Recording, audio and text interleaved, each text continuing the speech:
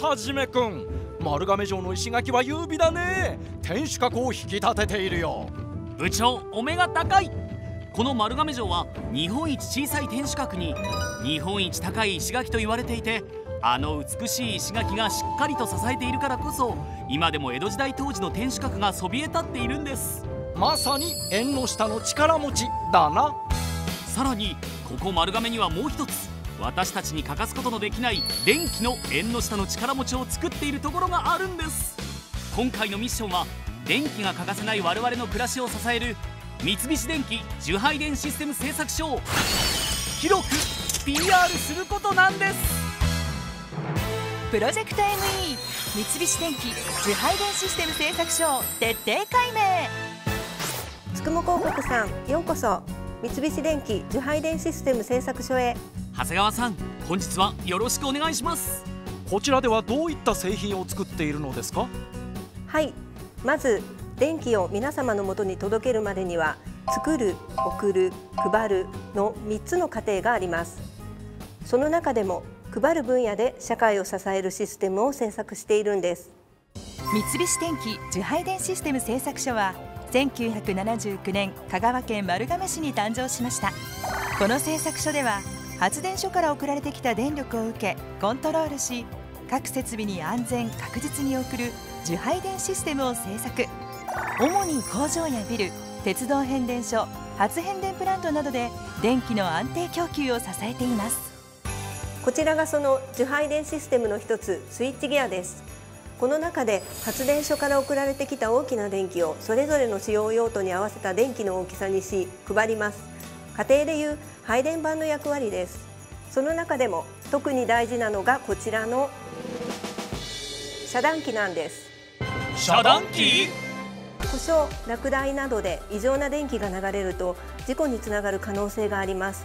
そんなもしもの時には安全のために異常検知から0.1秒で瞬時に電気の流れをシャットアウトする受配電システムの要なんです。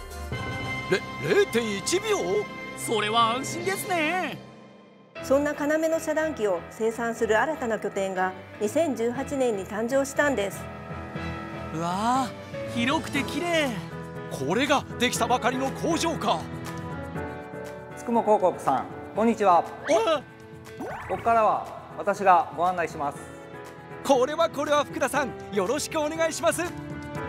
2人がやってきたのは2018年8月に本格稼働をスタートした遮断機を一貫して組み立てる真空バルブ遮断機工場。IoT の活用など30以上の施策を導入しスマートな生産工場の実現に取り組んでいます。また自然環境との調和や省エネにも力を入れており自然光を取り入れるための工程や緑化ルーバーウッドデッキを採用。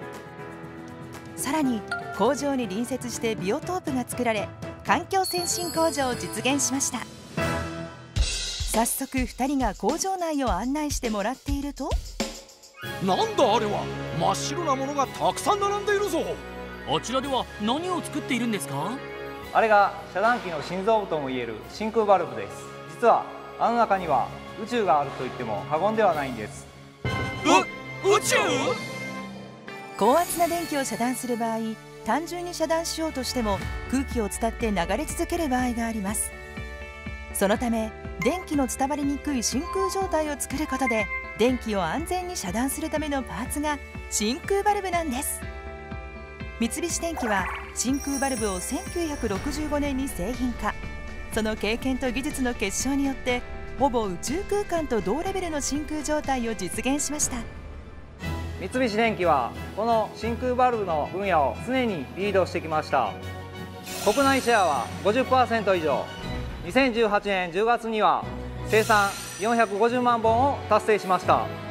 ええー、ここ丸亀から日本全国へ安全が届けられていたんですね。知らなかった。まさに縁の下の力持ちだな。我々の取り組みはそれだけじゃないんです。これはこれは藪内さんどういうことですか？ここ丸亀では次世代の配電システムにも取り組んでいるんです。そう言われ2人が案内されたのは製作所の入り口近くにあるこちらの建物。なんだかショールームのような建物に来ましたがここは一体？こちらは中低圧直流配電システム実証棟といってこれから注目される直流による配電を実証検証しているんです直流による配電？部長さん普段電気製品を使用している時アダプターが熱くなっていることはありませんか？あるある。よくあるよ。実はそれ変換ロスが原因の一つなんです。発電所で作られ送られる電気は交流という種類。しかしほとんどの電気製品は直流という異なる種類の電気で動いているため内部で交流から直流に変換その際に電力ロスが発生し熱として放出されているんです。ここ中低圧直流配電システム実証棟では D スマイリーと呼ばれる直流によるロスが少なくエコな次世代の配電システムを実証検証しているんです。また太陽光などの再生可能エネルギーや蓄電池は直流で発電蓄電されます。ここ丸亀から総エネ蓄エネ省エネに対応した新しい配電システムを提案していきます。縁の下を支えるだけではなく未来まで見据えていたとは。あっぱれ！藪内さん今日はありがとうございました。ありがとうございました。いや美味しそうだね。やっぱり香川といえば讃岐うどんだな。この強いコシを生み出すために足踏みという工程を長時間行うそうですよ。このうどんも電気を安全に使える暮らしも我々には見えないところでさまざまな努力がされていたんだな。よし私も三菱電機の遮断機のようにもしもの時に頼りになる男になるぞ。お会計お願いします。あ部長財布を忘れてきてしまいました。おお早速大ピンチじゃないか。私に任せなさいあ私も忘れた。おいはじめくん。なんとかしたまえ。はあ？部長はもしもの時に頼りにならないな。